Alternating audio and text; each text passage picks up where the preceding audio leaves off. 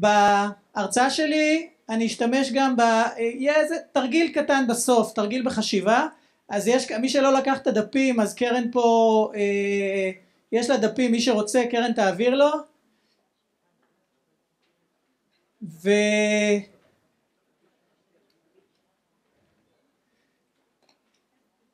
אז אה, בואו נתחיל. כן, אז אני אדבר על כלים בחשיבה עיצובית ו... וזה הדבר למעשה המאפיין של חשיבה עיצובית, חמשת השלבים העיקריים כשאני אתן ואתמקד בכלי המרכזי והעיקרי לפחות אה, אה, בהרצאה הזאת וזה כלי האמפתיה. אה, זה השלב של האמפתיה ואיזה כלים משתמשים בהם זה דברים שעזריד גם דיבר עליהם חשיבה עיצובית מתבססת למעשה על שלוש הנחות. צרכים של אנשים אפשרויות טכנולוגיות וצרכי הצלחה של הארגון. אה, שידי הצלחה של הארגון זה הגדלת רווחים אפילו שינוי ארגוני. אה, לרוב מתחילים ב, בארגון עצמו וחשיבה עיצובית מתחילים קודם כל בצרכים של האנשים. זה השלב הראשון וזה השלב המרכזי וחשוב להגיד גם שחשיבה עיצובית זה תהליך להורדת סיכונים. אנחנו לרוב מתחילים במשהו שאנשים צריכים ואחר כך כנראה גם יעשו בזה שימוש. הסבירות שהם ישתמשו במשהו שהם צריכים היא הרבה יותר גבוהה ואולי גם הם יקנו את זה. ואמרנו לחשיבה עיצובית יש שלושה, אה, שלוש רגליים. אה, חלל שהוא גמיש קודם כל צוות מגוון ב-IDEO הם קוראים לזה T-shaped people. זה אנשים עם ידע מאוד מאוד עמוק בדיסציפלינה אבל עם יכולת לחבור לאנשים ולעבוד עם אנשים אחרים. וכמו אה, שאמרתי חלל שהוא גמיש והגישה האיטרטיבית ו- design thinking means creating innovation combining diverse people creative space and iterative approach. ולמה הכוונה? uh, זה דאג דיץ, דאג דיץ, מאוד ממליץ לראות את הטד טוק שלו, מאוד מרגש. אה, והסיפור שלו אולי מתמצת ככה בקטנה את הסיפור של אה, חשיבה עיצובית. הוא בכיר בתעשייה בג'נרל אלקטריק, אה, הוא אחד מהמייצרים של המכונה הזאת שנקראת CT אה, וחשיבה עיצובית אמרנו, הציג את זה גם עזרי שזה חשיבה, כלי שמגיע מעולם העיצוב שמשלב סט של כלים ו, ומה שחשוב זה תהליך מוגדר שהוא גם כן גמיש. אז סליחה, אז מי שלא, מי ששיחק לו מזלו ולא פגש בעולם מכונת MRI זו מכונת MRI אה, היא נראית ככה, בדרך כלל מצטרפים אליה גם שלטי אזהרה עם קרינה ופסים צהובים על הרצפה. ו-MRI זה תעשייה, טכנולוגיה, אה, התעשייה שהתחרות בה היא על עלות התפעול, אה, על יכולת ההפרדה, פרמטרים שהם פיזיקליים טכנולוגיים בעיקר. זה שוק שבעיקר תחרות טכנולוגית. ודאג עשה קורס בחשיבה עיצובית, זה פה עידו. אה, ושכמו שאמרנו חשיבה עיצובית שמה את האדם במרכז.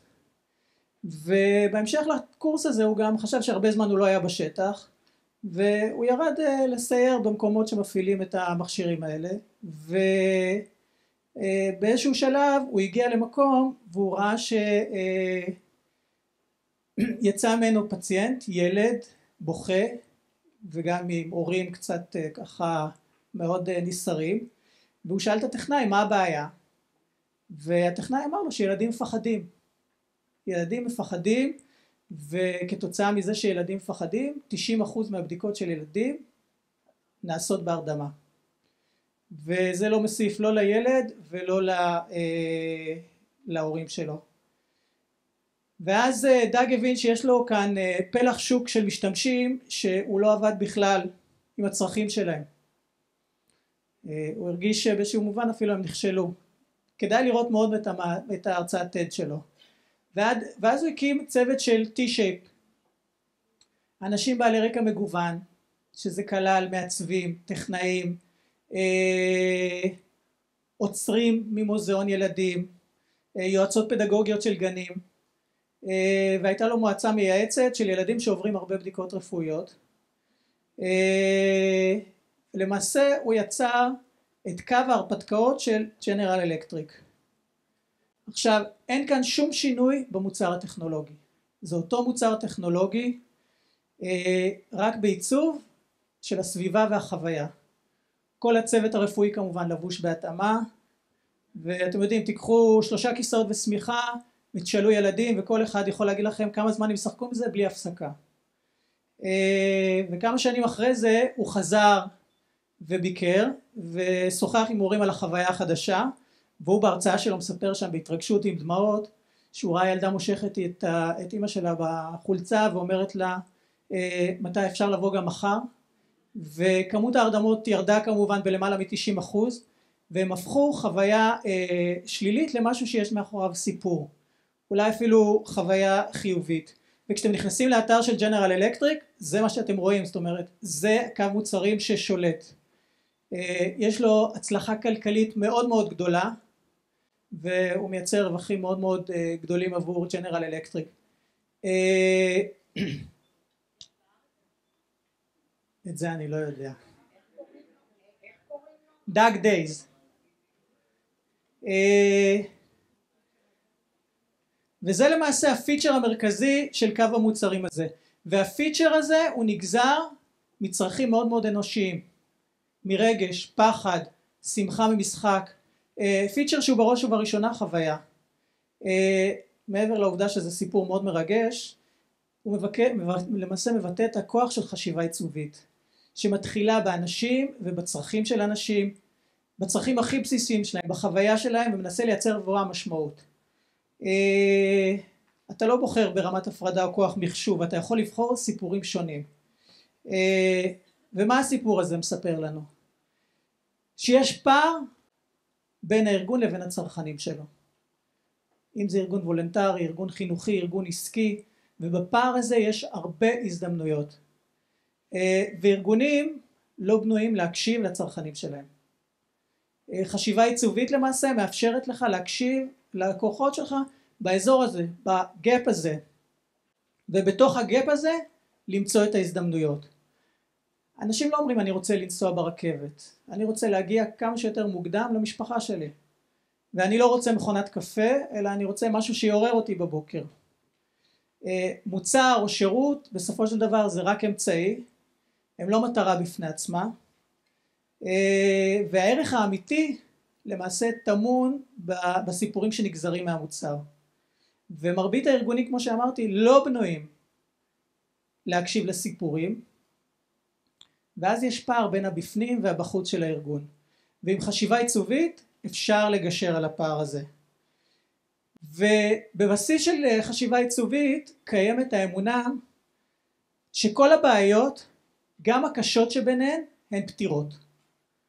אה, יותר מזה אחת ההנחות היא שהאנשים שנתקלים בבעיות האלה כל יום בהם קיים הפוטנציאל לפתרון הבעיות. אה, הם המפתח למציאת הפתרון. ואם אתה מדבר עם הילד שעובר אה, בדיקות MRI אתה מבין שהוא מפחד. אתה מבין שהפתרון הוא איך להתמודד עם הפחד של הילד. כל עוד אנחנו אה, מבינים ומתבססים על מה שלמדנו מהאנשים ומהסביבה שלהם אנחנו יכולים להגיע לפתרון. וכמובן בגלל שזה פותר בעיות משמעותיות אז מן הסתם הם גם ישתמשו בזה.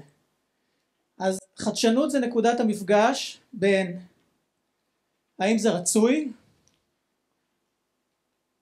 האם זה אפשרי והאם זה רווחי.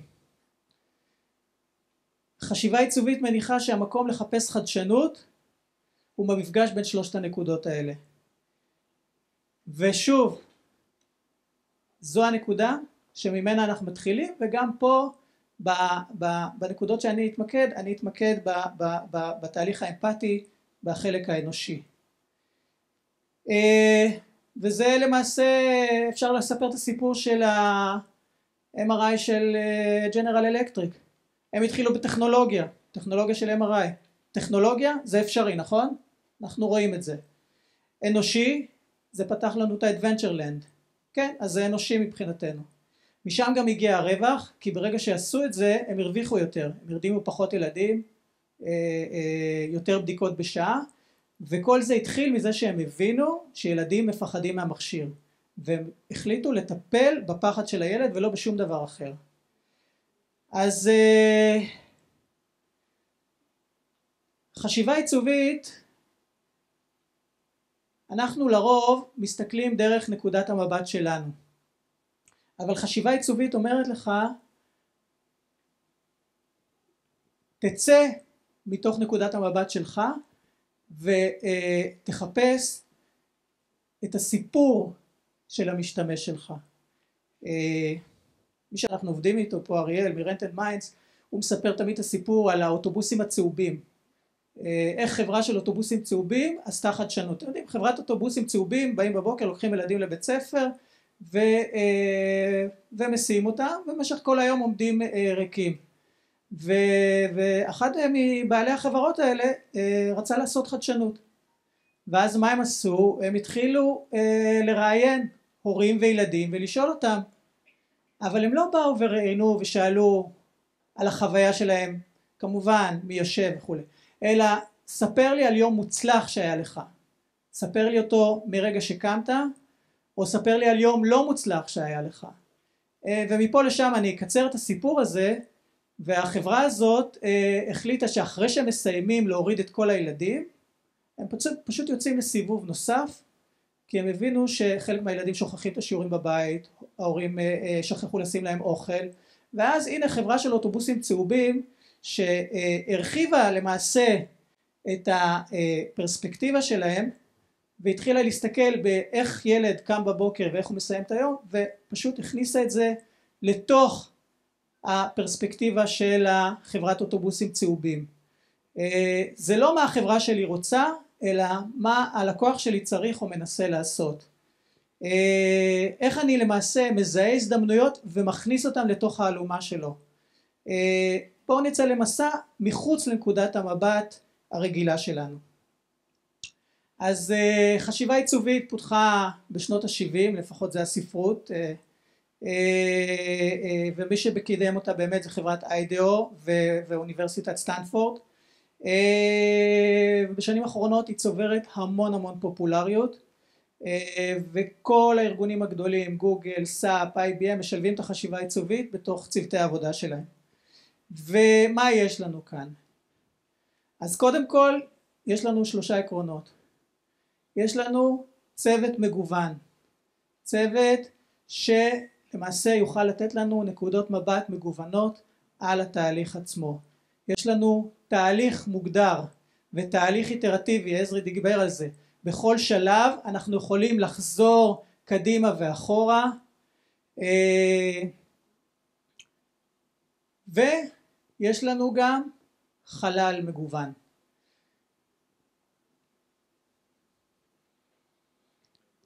אז אמרנו הצוות זה צוות עם התמחות, התמחות מאוד חזקה בתחום מסוים. אם אנחנו מדברים על מהנדסים אז מהנדסים שיש להם גם גישה לתחום העיצוב אה, אז יש לו מה שנקרא חיכוך יצירתי. אה, אני לא אכביר יותר מדי על הצוות. אה, החלל. החלל בחשיבה עיצובית חשיבה עיצובית זה תהליך קבוצתי והידע נמצא על הקירות והחלל שאנחנו עושים סיור מוחות זה לא אותו חלל שאנחנו בונים prototype וזה לא אותו חלל שאנחנו מריצים ומנסים את ה prototype שלנו. ולכן אנחנו צריכים להפעיל חללים גמישים שאפשר uh, לשבת סביב שולחנות ואפשר לשבת בשורה ואפשר אחר כך אולי להסתובב בתוך החדר ולעשות כל מיני דברים. uh, זה לגבי הנושא הזה של החלל.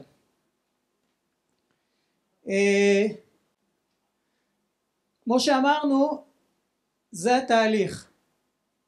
יש את השלב של האמפתיה שתכף אנחנו נתמקד בו. השלב של זיקוק נקודת המבט, סיור המוחות, אב טיפוס והבחינה בשטח. ובמקביל לו יש כאן איזשהו שלב של מה שנקרא התבדרות והתכנסות. אנחנו כל הזמן מתבדרים ומתכנסים. למעשה זה תהליך שבו אנחנו כל הזמן לומדים. זה תהליך רזה אני לא רוצה לחשוב שאם אני חוזר אחורה אני מאבד שלוש שנים. אה, אנחנו עובדים במחזורים קצרים. עזרי פה דיבר על ספרינטים אפשריים של שבוע. אה, וככל שאני מתקדם מימין לשמאל אני מייצר יותר ויותר למידה.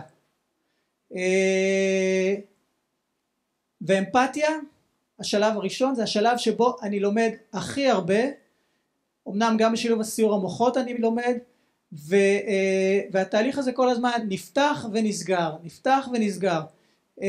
ככל שאני מתקדם מרחב האפשרויות שלי הולך וקטן. אני מתחיל בהרבה מידע על הבעיות של הלקוח ואחר כך אה, יש לי הרבה points of view והרבה פתרונות, הרבה אפשרויות לפתרונות לרעיונות שאני מציע אה, ואז אני בונה גם כמה אבות טיפוס אבל בסופו של דבר לשטח יוצא משהו אחד שאיתו אני אה, בונה, למעשה מנסה אותו וזה ככה על רגל אחד התהליך כולו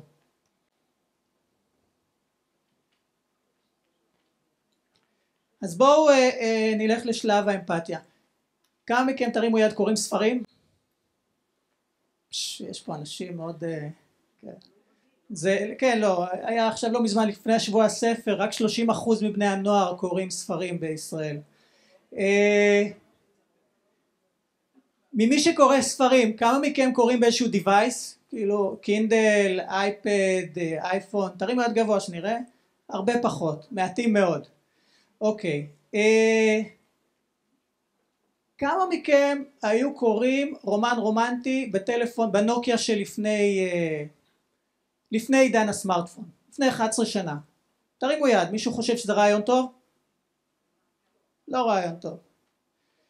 אז אה, תכירו, ביפן יש אה, החל משנת 2005-2006 אה, יש קייטאי, זה ספרים, רומן רומנטי שנקראים בהודעות אס.אם.אס, אה, זה מכניס עשרות מיליוני דולרים ביפן ובסין ותרבות שלמה התפתחה של אה, קריאת רומן רומנטי על הטלפונים האלה. כשעשו את זה לפני 15 שנה זה היה מאוד מאוד אטרקטיבי אה, נכון שקשה אה, מאוד לקרוא אה, בטלפון כזה למרות שהטלפונים כאן קצת גדולים לעומת הטלפונים שאנחנו הכרנו אבל מישהו שביפן קצת אנשים מתביישים לקרוא רומן רומנטי אז בשבילו זה פתרון נהדר כי לא רואים את הכריכה של הספר. או מי שקורא תרבות אסורה כמו בסין ויש צנזורה מאוד אז זה פתרון מאוד מאוד רלוונטי. אה, וכדי להבין את הדבר הזה אתה צריך להיות אמפתי עם האנשים. אתה צריך להבין מה חשוב להם. אה, להבין שיש בושה להבין שיש פחד וכמו שאנחנו מבינים זה תמיד בסופו של דבר מגיע למשהו מאוד מאוד אמוציונלי. תמיד בסוף זה מגיע לאיזשהו רגש אנושי אה, שמעליו אנחנו בונים את הפתרונות. מה שאמפתיה נותנת לנו זה כלי לפענח את המפתחות האלה. אז uh, יש הרבה מאוד הגדרות למילה אמפתיה. ואנחנו נתייחס למושג הבסיסי לראות את העולם דרך עיניו של מישהו אחר להיכנס לנעליו של מישהו אחר אבל לעשות את זה בצורה מתודולוגית uh, ואז uh, מישהו יכול לבוא ולהציע כי יושבים כאן אקדמאים בואו נשלח סקר ואז כשאתה שולח סקר מה אתה מניח? אוקיי, אוקיי זה כשיענו, אבל מה עוד? מה בבסיס?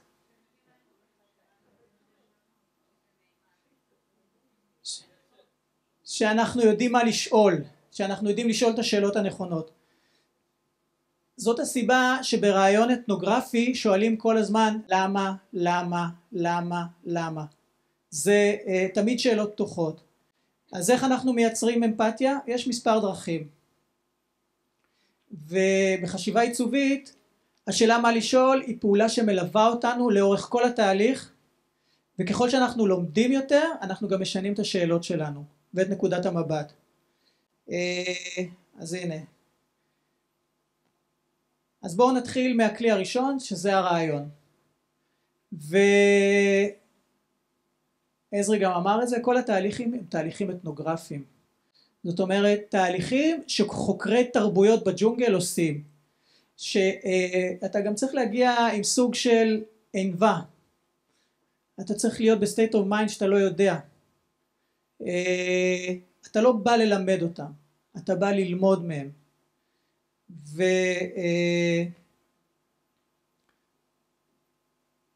אה, אתה התייחסת לזה.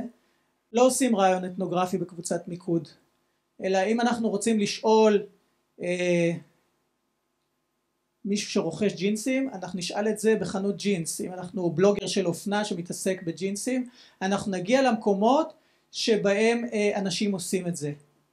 ויש הבדל מאוד מאוד משמעותי בין קבוצת מיקוד לבין הרעיון האתנוגרפי.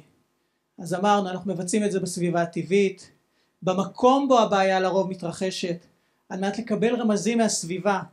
אה, יש אה, תומר שרון הוא היה, הוא עכשיו אה, עובד, ב, לא משנה איפה עובד, הוא עבד, ב, הוא היה UX של צ'ק פוינט ובהרצאה שלו הוא סיפר שהוא היה מגיע לכל מיני מנהלי מערכות system ומגיע ל booth שלהם והדבר הראשון שהוא עושה הוא מסתכל מה תלוי להם ב cubicle לבוא ולראות איזה מעקפים הם היו עושים ומתוך זה הוא היה גוזר את הפיצ'רים החדשים שהיו מפתחים בתוך צ'ק פוינט.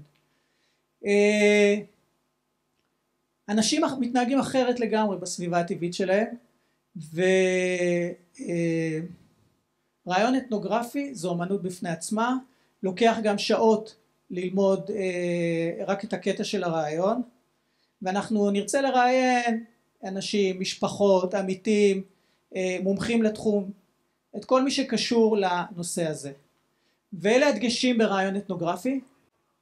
אה, כמובן שאלות פתוחות, אנחנו מחפשים סיפורים ולא תשובות סגורות. ספר לי על הביקור שלך במוזיאון, על הביקור הטוב ביותר שלך בשדה התעופה. אה, הרבה פעמים לשאול למה. וכשאתה יודע, חושב שאתה יודע את התשובה, לשאול עוד פעם למה, במרבית המקרים אתה תופתע. אה, ואז יש דרך גם לעשות, אנחנו מחפשים המלצות, סיפורים, שפת גוף, טון, אתם לא, ש... לא אשאל אתכם מה דעתכם על ההרצאה המעולה של שרון, נכון? כי אני מרמז לכם, אוקיי? אני אשאל איך לדעתכם הייתה ההרצאה של שרון עוד מעט בהפסקה. אה, אני לא רוצה להכניס שום רמז. המרכיב השני בשלב האמפתיה זה ללכת בנעליהם. לחוות מה שהם חווים. מה האישה הזאת רוצה לחוות? מה? שריון, הגנה. טיפול. טוב, הוא אמר את זה כאן, איך קוראים לך? אמר את זה. אה, היא רוצה לחוות איך זה כשהגוף שלך מוגבל, אוקיי?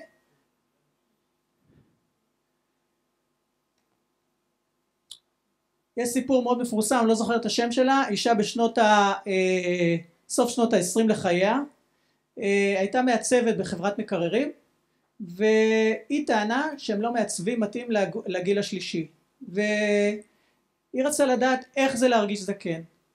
וזה מה שהיא עשתה, היא יצאה למסע, למסע ברחבי ארצות הברית, היא תקעה לעצמה מקל אה, בגב כדי שהיא לא תוכל להתיישר. אה, שמה משקפיים עדשות לא מתאימות כדי שלא תראה טוב. וככה הסתובבה בכל רחבי ארצות הברית. אה, ישבה, הלכה לחנויות, הלכה לאוטובוסים, הלכה לקולנוע וצברה איך, ידע איך לעשות את זה, איך, איך זה לחיות בגיל השלישי, עשתה את זה ב-1979 אה, ואז היא הבינה שיש מגזר גדול שבונים מוצרים שהם לא מתאימים לצרכנים שלהם. בואו נראה את הסרטון הזה.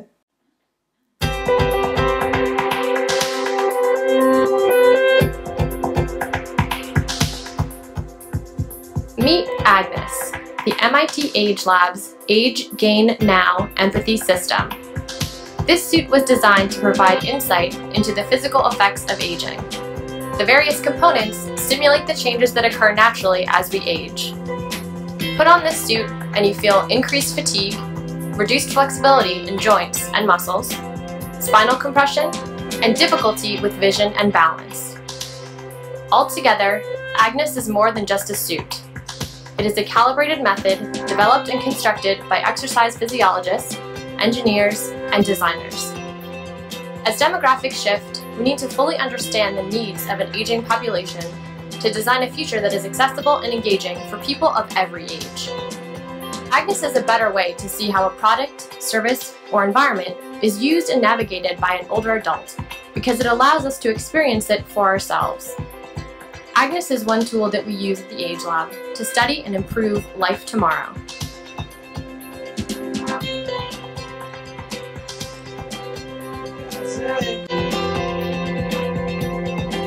MIT פיתחה חליפה כמו שהאישה הזאת ניסתה עוד בשנות ה...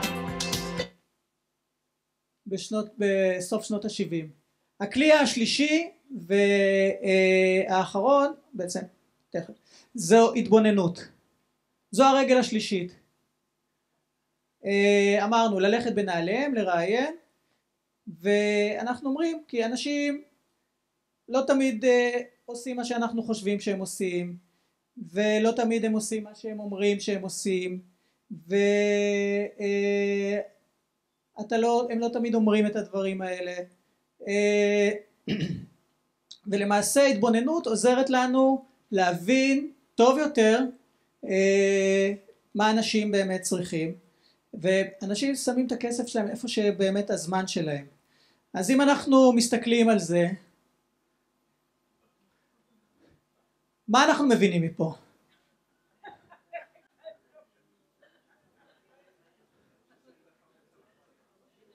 זה בבית מלון דרך אגב שימוש רב תכליתי מה המשתמש רצה לעשות?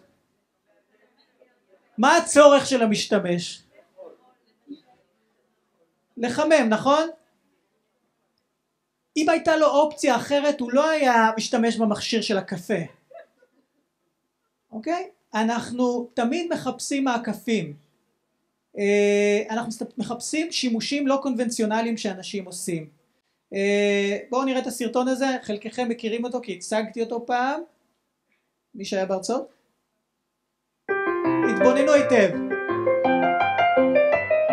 Clearly, somebody in this room murdered Lord Smythe, who, at precisely 3.34 this afternoon, was brutally bludgeoned to death with a blunt instrument. I want each of you to tell me your whereabouts at precisely the time that this dastardly deed took place. I was polishing the brass in the master bedroom. I was buttering his lordship's scones below stairs, sir. Why, I was planting my petunias in the potting shed. Constable, arrest Lady Smythe. But, but, but how did you know? Madam, למה צריך להרוס, אה, לעצור את ליידי סמייל? אה? planted my petunias, אוקיי? התבוננתם היטב, נכון? אתם יכולים להבין מי הרוצח? בואו נראה, הופה, עשיתי, טוב, ננסה, תכף נריץ את זה. at precisely the time that this dastardly deed took place. I was polishing the brass in the master bedroom. I was buttering his lordship's scones below stairs, sir. Why, I was planting my petunias in the potting shed. Constable, arrest Lady Smythe. But, but, but how did you know? Madam, as any horticulturist will tell you, one does not plant petunias until May is out. Take her away. It's just a matter of observation. The real question is how observant were you? שימו לב, מה פספסתם? And action. Clearly, somebody in this room murdered Lord Smythe, who, at precisely 3.34 this afternoon, was brutally bludgeoned to death with a blunt instrument. I want each of you to tell me your whereabouts at precisely the time that this dastardly deed took place. I was polishing the brass in the master bedroom. I was buttering his lordship's scones below stairs, sir. Why, I was planting my petunias in the potting shed. Constable, arrest Lady Smythe. אוקיי, זה פרסומת בבריטניה לשים לב לרוכבי האופניים, אבל בהקשר שלנו, התבוננות, אה, והנה כלי, קיבלתם אותו גם פה בדפים שלכם, ובואו נעשה תרגיל קטן לפני שאנחנו עושים את התרגיל שלנו. אה, בואו נסתכל על מה שקורה פה. אז אה, שימו לב, אנחנו עוברים מהשלב, מהפרי, מהפריטים היבשים, מהמימד העובדתי למימד הרגשי. אז אה, אנחנו תמיד שואלים מה, איך ולמה. אז אה, מה אנשים עושים פה?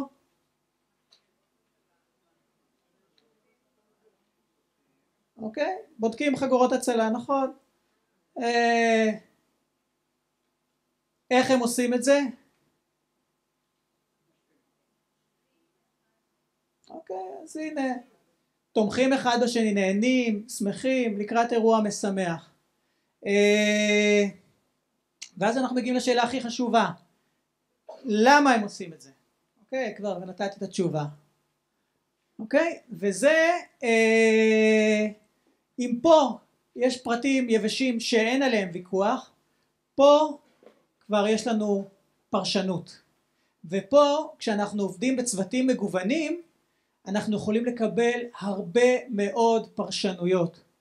אה, אנחנו מסתכלים על הפריטים היבשים ואז אנחנו מנסים לגזור מהם תובנות.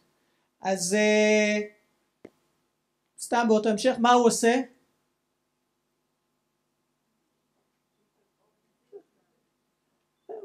אוכל פלפלים אה, חריפים. אנחנו גם רואים שהוא אדום וכבר קשה לו. אה, מה, הוא, עושה? למעשה הוא רוצה לגייס אה, כסף לשבט צופים שלו. לא משנה, זה עשה את זה אה, באינטרנט. עכשיו אנחנו נעשה, יש לי כמה דקות, נעשה איזשהו, אפשר להדליק את האור אסף, תרגיל קטן בהתבוננות. לא, שוב, גם אפשר להבין שכל התהליך הזה הוא לא תהליך אה, מורכב, אלא זה משהו שהוא בהישג ידינו. אה, משחק פוטבול, אוקיי?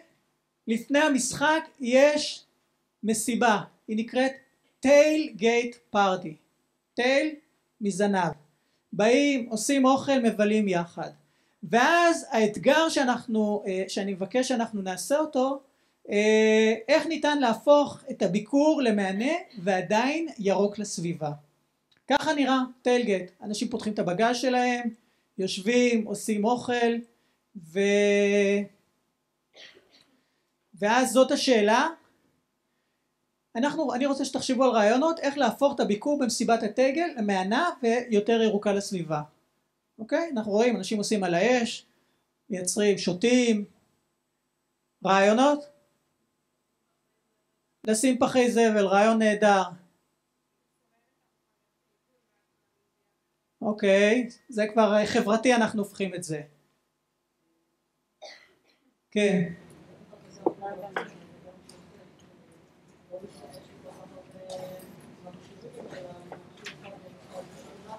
אוקיי.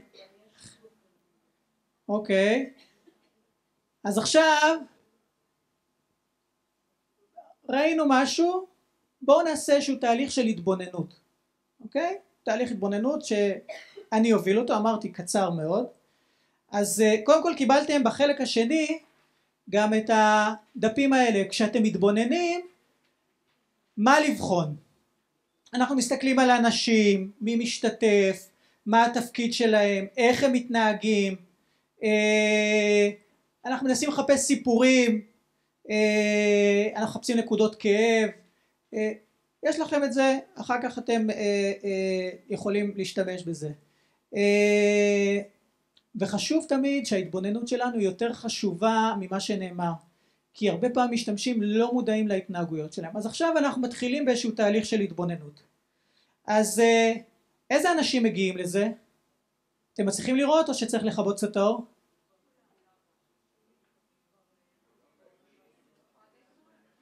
אוהדי פוטבול נכון? הרבה אנשים נכון? זה מסיבה מסיבה לפני כל משחק זה משחק פוטבול אוקיי? אה, מה אנחנו יכולים ללמוד מהתמונה הזאת? אוהדים הם מאוד גאים בקבוצות שלהם אוקיי? הם באים משקיעים בלבוש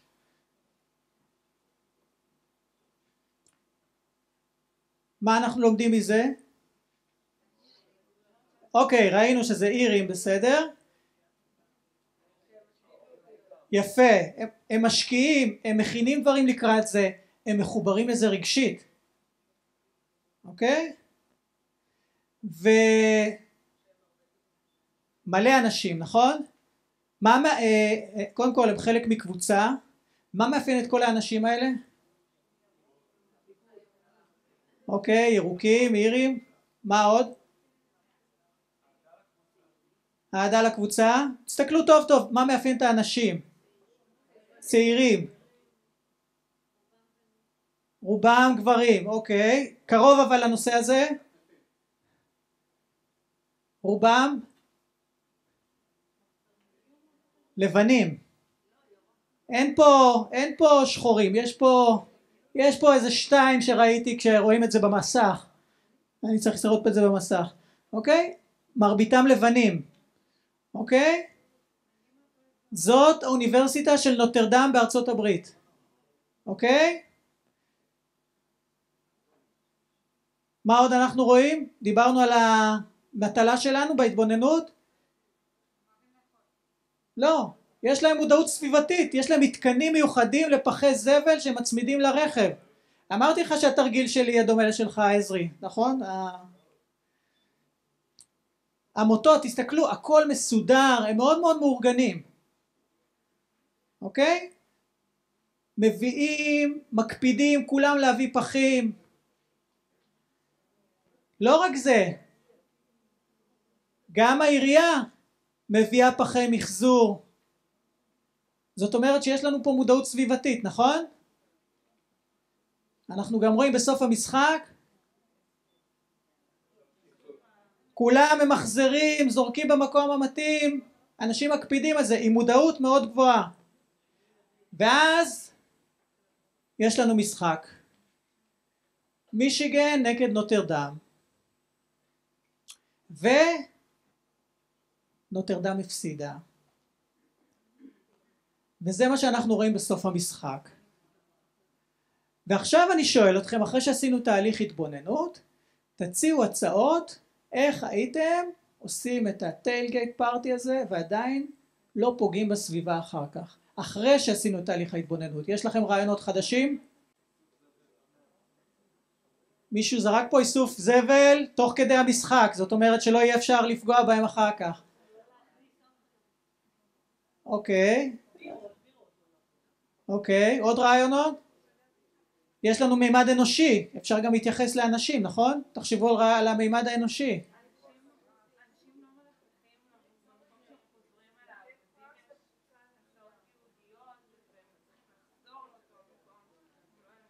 אוקיי, אז יש לנו כאן הצעה להסעות שאולי אה, זה, כן. מה? שקי קריזה, שקי גרופ להוציא קריזה.